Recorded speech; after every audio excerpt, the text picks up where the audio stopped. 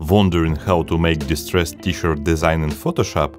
Today I will show you a few simple and effective ways. We will use different types of textures, brushes and mask layers. My name is Ivan Gromov and I've been working with Photoshop in a professional capacity for 9 years and I'm also a creative stock author for Envato Market. Before we start, I would like to recommend you Envato Elements. Here you can find a great collection of textures, brushes and everything else you may need for your next design project. Here is a free texture which I created for you, but you could also create your own by taking a photo of any metal surface, even with your smartphone. Let's rasterize the background with a double click. After that, press Shift Ctrl Alt B and press OK. Invert the colors of the image by hitting Ctrl I and then go to Image, Adjustments, Brightness Contrast and set the brightness to 132 and contrast to 100. Now let's go to Select, Color Range and then hit on the white area and set the fuzziness to 50. Press the Delete button and then Ctrl D to deselect. And for the last step here, double click on the layer and put a tick on color overlay. Select black color with normal blend mode. After that, just save the texture as a PNG file.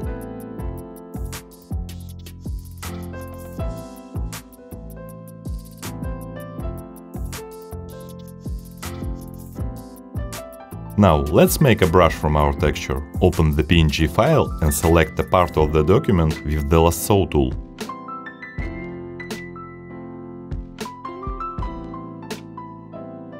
Go to Edit, define brush preset and press OK to create a new brush. Hit the brush settings icon and use the settings which you can see on the screen now. Now we will try to use different textures and brushes, including our own, to create a distressed design. Create a new document with the settings which you can see on the screen.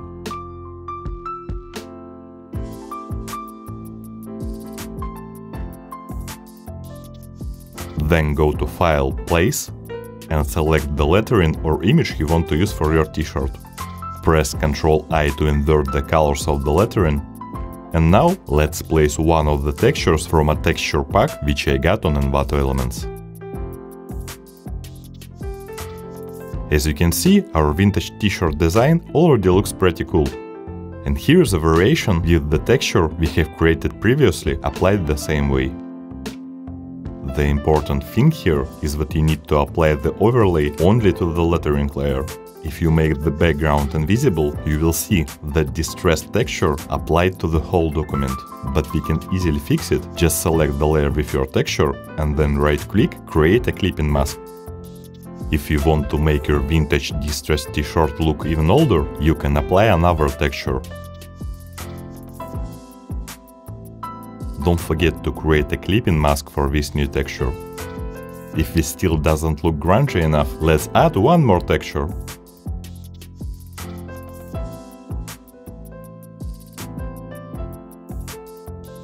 Now let's try to use JPEG textures from another pack and apply them to our t-shirt design.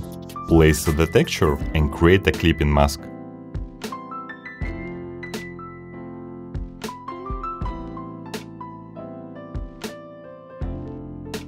Change the blend mode to hard light. And let's add one more texture, but this time we will use multiply blend mode with 50% of the opacity.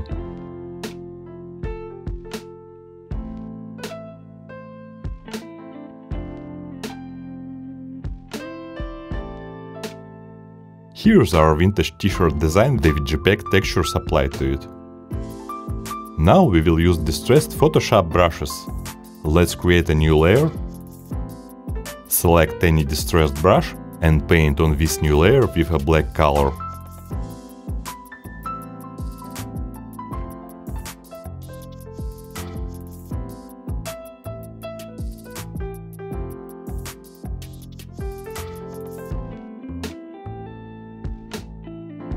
Another way to use the brushes is a mask.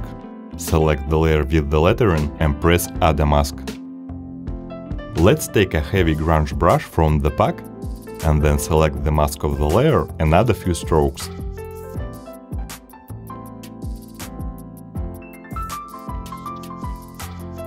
This is how my retro t-shirt design looks now. And another variation of the final distress graphic t-shirt created with our own brushes. Let's try to combine all the techniques we have discovered.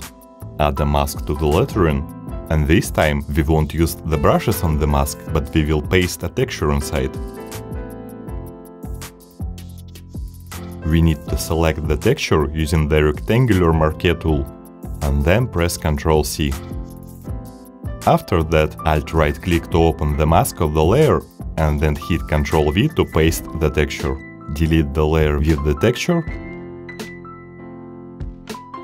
Select the mask of the layer one more time and go to Brightness Contrast and set the brightness to 105 and contrast to minus 15.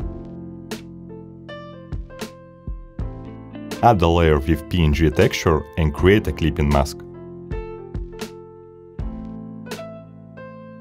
Now let's add a JPEG texture with hard light blend mode and 50% of the opacity.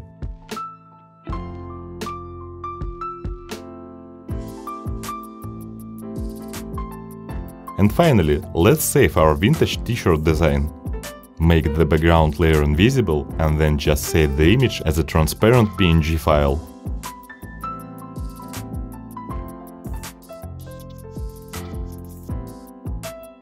Today you have learned how to make a vintage t-shirt design in Photoshop using different techniques. I hope you have enjoyed the tutorial and you may be wondering where I find these amazing mockups for the preview. The answer is Placeit. Placeit is an amazing site with hundreds of mockups and templates, which you can use and customize in a few simple clicks. Thank you for watching and don't forget to check our channel for more useful tutorials.